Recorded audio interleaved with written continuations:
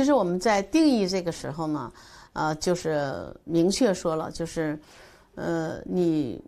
不是很明确，它可以是外界的任何因素的一个刺激啊。外界我们都知道，那接触这些，呃，空气呀、阳光啊、啊湿度啊这种都可能影响啊。之后呢，内部的原因就是你你体内的各种呃脏器的异常啊，都可能是一个诱发因素。所以呢，呃，我们这种湿疹的病因是不太好找的。其实我们最早的，因为呃英文呢叫湿疹叫 eczema，好像从拉丁文来的啊，这从拉丁文，它就是叫沸腾水泡的，其实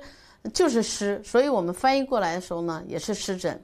但是呢，后期的时候，在这个这个学术上逐渐认识这个疾病之后呢，它可能就是它刚才也说了，它可能不湿了，干我们慢性的这种湿疹也称它为这种炎症性的改变，也称它为湿疹了。它湿疹表现的湿更多一些，